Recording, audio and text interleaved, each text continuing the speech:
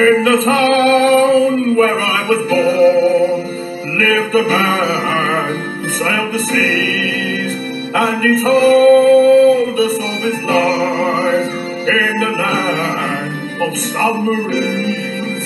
So we sailed up to the sun till we found the sea of green, and we lived beneath the waves in our yellow